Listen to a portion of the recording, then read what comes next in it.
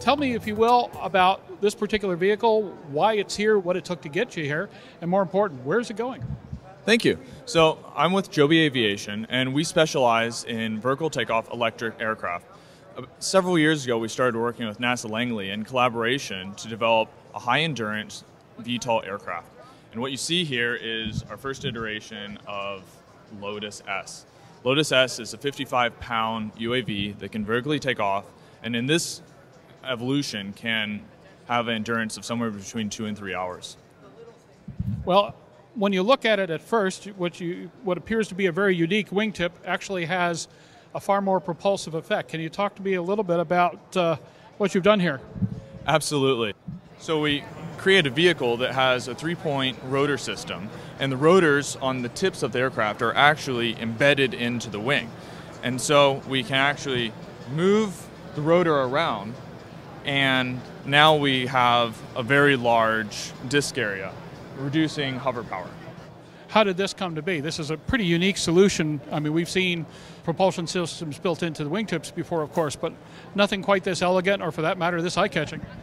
Well, we found that in order to have the most efficient solution, you need to integrate the entire package. It's not just about hovering, it's not just about your forward flight. You need to combine them in an elegant solution. And what we found here after running many simulations with CFD is that by countering the tip vortexes in forward flight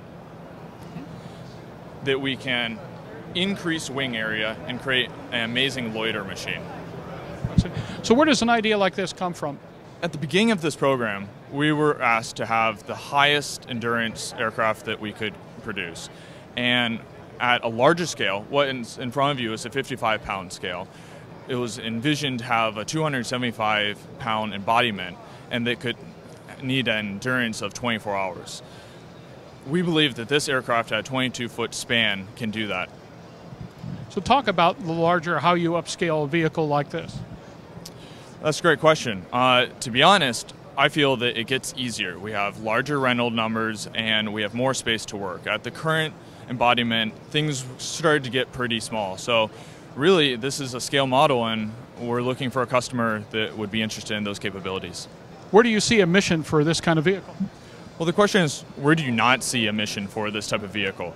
You can have a defense situation where you could lift off from A, go to a location B, then take off and go to a C. Or you could be traveling along a pipeline for many hours and checking that.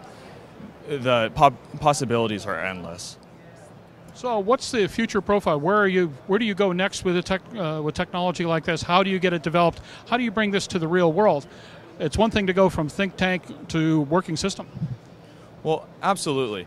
And here at Joby Aviation, we're working on a lot of different projects. This is just one of the projects we're working on. For the UAV, we're looking for partners that would like these capabilities, and we would love to work with them to really evolve this into a product line. On the other end, we're actually working on entire personal aviation craft to fly around actual people for place scale. If you go to our website, joby, J-O-B-Y dot aero, you can check out, we have a YouTube video of what we believe that looks like. When you develop something like this in the back of your mind, you've got a use that for some reason or another just fits into where you want to see it in the world. What do you want to see this be, uh, be doing in the next four or five years?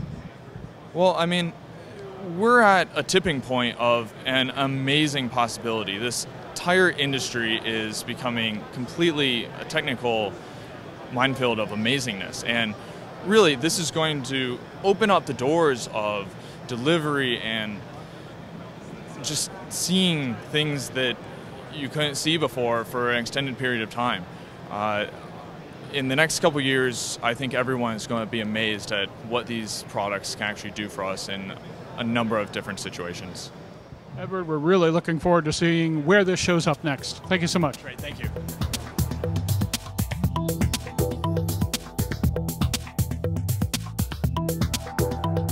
Aero TV is brought to you by AML's patent pending wireless induction charging system eliminates confusion over those charging cables, cuts down cockpit cable clutter, and allows you and your passengers to fly cordless and eliminate the cable nightmare.